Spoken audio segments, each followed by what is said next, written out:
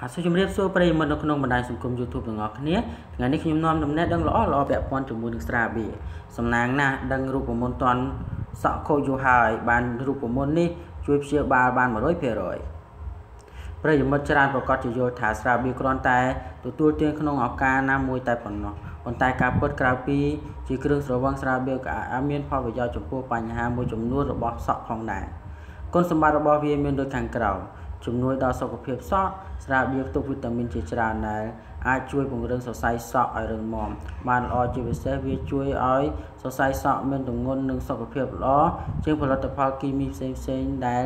អ្នកកំពុងប្រើប្រាស់ទៅទៀតជួយឲ្យសក់ទន់ចំពោះស្រាបៀរជួយលាងសម្អាតកាកសំណល់ទន់កង្វក់ដែលជាប់សក់ឲ្យស្អាតល្អបានប៉ុន្តែប៉ុន្តែប៉ុណ្ណោះវាក៏ បានដើរតួនាទីយ៉ាងសំខាន់ក្នុងការជួយបន្ទន់សក់របស់អ្នកឲ្យរលាស់ទន់និងមានពន្លឺផងដែរជួយជួសជុលបញ្ហាស្ងួតនិងសក់ខូចជាតិប្រូតេអ៊ីនដែលមាននៅក្នុងស្រាបៀរអាចជួសជុលសក់ខូចស្ងួតឲ្យត្រឡប់មកជាសក់ល្អស្អាតវិញជាពិសេសបញ្ហាសក់បែកចុងក៏ស្រាបៀរអាចជួយបានផងដែរយ៉ាងណាមិញត្រូវចងចាំថាបញ្ហា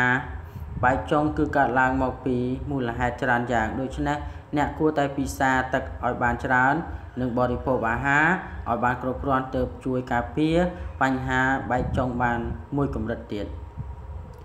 ជួយលាងសម្អាតជាតិគីមីជាប់សរសៃសក់សាប៊ូកក់សក់មួយចំនួនគឺផ្ទុកសារធាតុគីមីដែលអ្នកខ្លះក៏អាចប៉ះពាល់ដល់សរសៃសក់របស់អ្នកបានផងដែរប៉ុន្តែ កុំបារម្ភស្រាបៀរអាចដោះស្រាយបញ្ហានេះពីព្រោះវាអាចជួយលាងសម្អាតជាតិគីមី បានយ៉ាងល្អដែលជាប់សរសៃសក់ដោយគ្រាន់តែយកទឹកខ្មេះប៉ោមចាក់ស្រាបៀរបន្តិច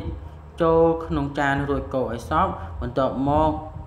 ញីសរសៃសក់ឲ្យបានយូរក្នុងចុងក្រោយលាងទឹកចេញជាការស្រេចលាងសម្អាតបញ្ហាអង្គែស្រាបៀរក៏មិនត្រឹមតែជួយឲ្យ សក់ទន់ប៉ុណ្ណោះទេថែមទាំងជាអ្នកសម្អាតបញ្ហាអង្គែទៀតគ្រាន់តែយកស្រាបៀរបន្តិចចាក់លើសក់បន្ទាប់មកញីឲ្យបានសប់ទុករយៈពេល1ទៅ2ម៉ោងមុននឹងលាងសម្អាតជាមួយនឹងទឹកធម្មតាចំពោះស្រាបៀរអាចជួយកាត់បន្ថយបញ្ហាអង្គែដែលកើតលើក្បាលរបស់អ្នកបានយ៉ាងល្អបាទពិតជាប្រសើរណាស់